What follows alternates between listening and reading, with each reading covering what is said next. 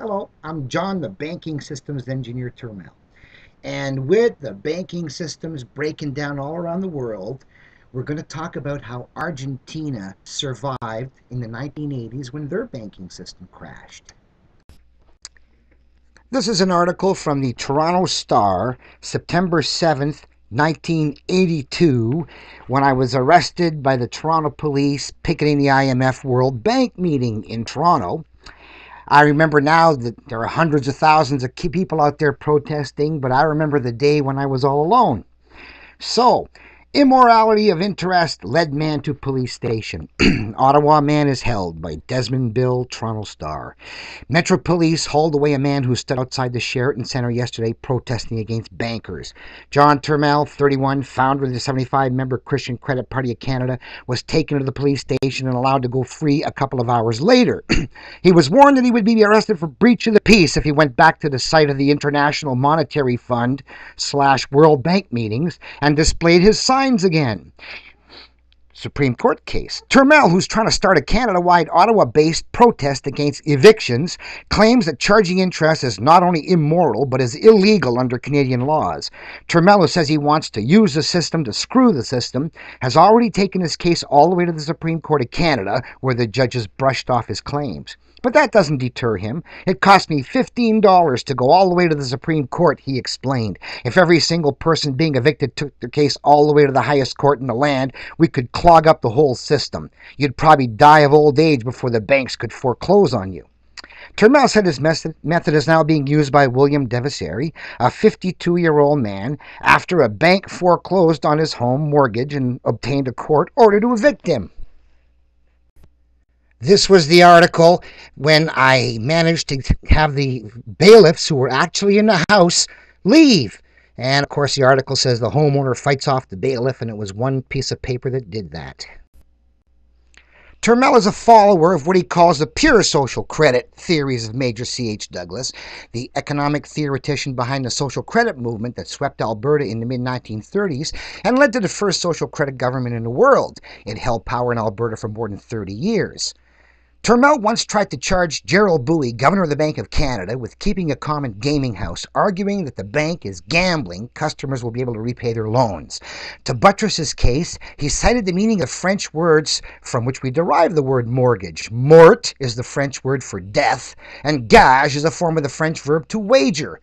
He said mortgage is aptly named a death gamble for its requirement that the participants repay both the principal and the usury when the banks only created the loan out of the principal. He now offers free kits telling others how to stiff the banks. I was passing out this flyer from my Christian credit programs. So let's just read the most important one. One, the abolition of interest rates.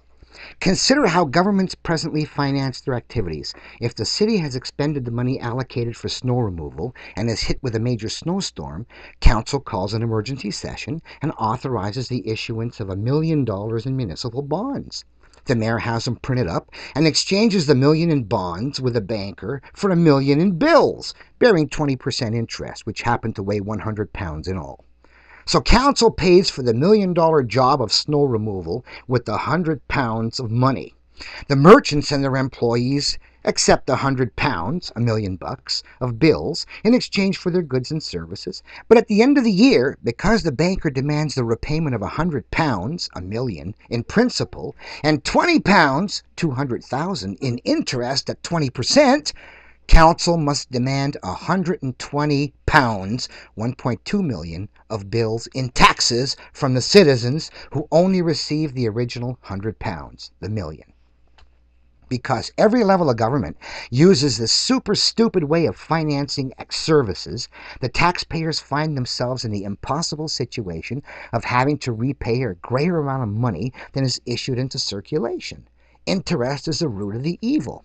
The solution is to be found in the Bible. Quote, let the exacting of interest stop. Unquote, Nehemiah 5.10. Accepting that credit is only Christian when the exacting of interest has ceased, the major goal of the Christian Credit Party is a total abolition of interest on credit.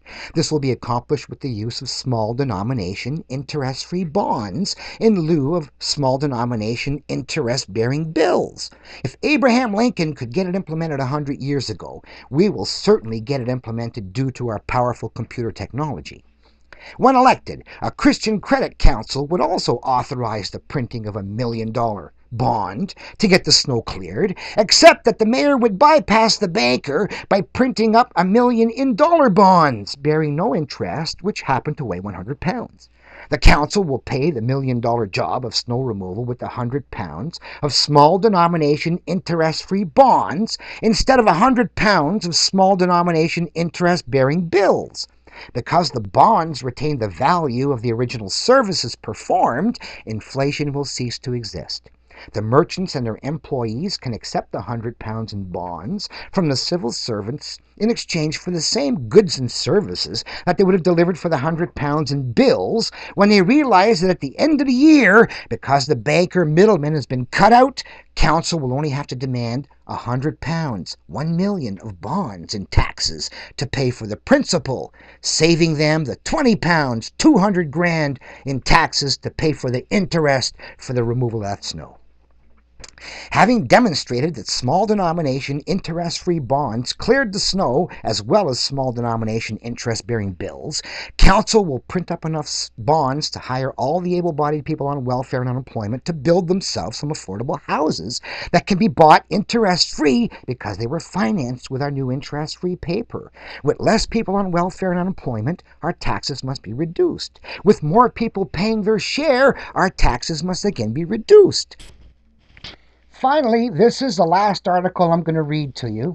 It's called Cash Starved Argentine Provinces Turning Out Their Own Money in 1985. So, by Andres Oppenheimer. Miami. Two remote Argentine provinces, short of cash to pay public employees, have come up with an easy solution. They're printing their own money to the chagrin of national and international banking authorities. We are paying all our public employees with provincial bonds, Roberto Romero, governor of the northern Argentine province of Salta, said in a telephone interview. He said Salta started printing its own IOUs because it wasn't getting federal currency fast enough. People can change these bonds for money at any bank, Romero said. And of course, they don't have to if they can spend them in town. Only when they leave of the country, I suppose, do they have to change them. They can use them to shop at supermarkets and to buy cars and other products. And who wouldn't take a government bond as a piece of money? The Argentine government is not smiling, and world bankers are worried that other cash starved states will copy Salta's financial extravaganza and jeopardize Latin efforts to curb inflation. They think inflation is too much money, shift A, chasing the collateral. They don't know about shift B, same money chasing less collateral. Oh, to curb inflation and pay huge foreign debts. The International Monetary Fund, IMF, and the world's main financial inspector for debt ridden countries, was concerned enough to bring up the issue in recent talks with the Argentine government, said sources in Argentina and Washington. The IMF does not comment on negotiations with individual countries.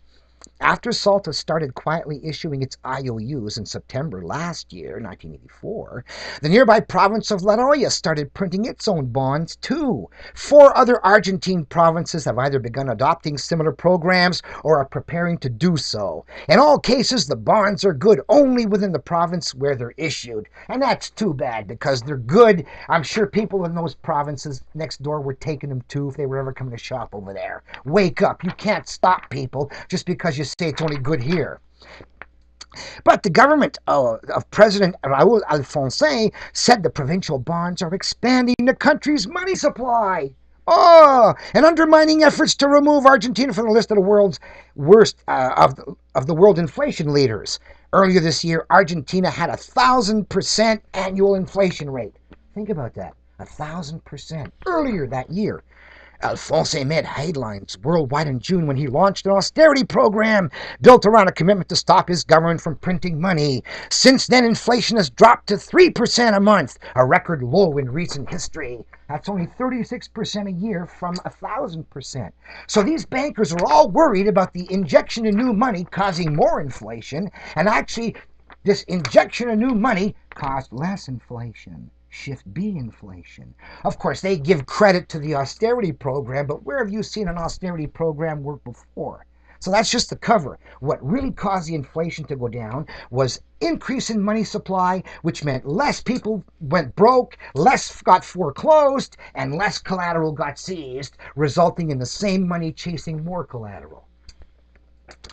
Uh, the bonds printed in Salta come in denominations the same as ordinary Argentine exchange bills, currency bills. They pay no interest and can be exchanged for Argentine currency or used to pay goods. Romero of the opposition Peronist party and officials of the other provinces claim their bonds are not really new currencies because they're no good outside their provinces. Well, we know they are good.